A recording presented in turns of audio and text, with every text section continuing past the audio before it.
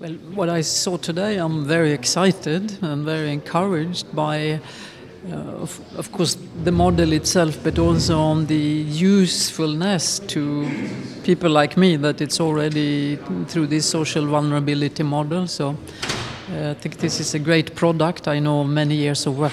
I know it's a very big partnership, and I can see from the presentation today how much work has gone into delivering it. So I would say you should celebrate the five years of work.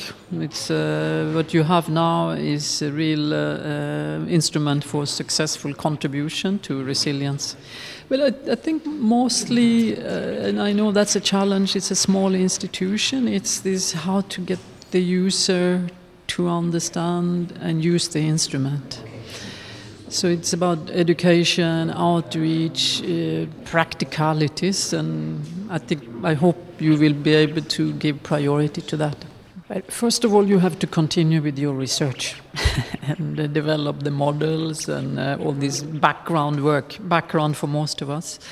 But secondly, um, I hope to see a lot more of GEM in um, education, training, in partnerships that build capacity of municipalities, countries, and individuals, and that's what I think this what I call the the, the front use of the model, um, the vulnerability and social and, and economic exposure. That's very important. Understanding risk is really about everything that you are doing. It's about understanding where the risks are, assessing them, monitoring, transforming them into actionable uh, uh, recommendations, and making it available to people. And the making it available is, and that is your model, is open, accessible, available, and understandable.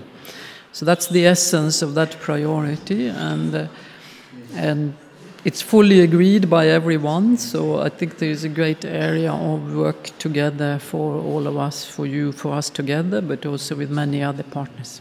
Well, I think you know what what you've done is is a very powerful start of that. So what I hope you will do, but we will do it together, is a commitment to support the implementation of the new framework, uh, but also you know, work together much more so we can leverage and optimize each other's knowledge, competences in order to support countries and ensure they have the confidence to take this path of resilience and, and managing their risks.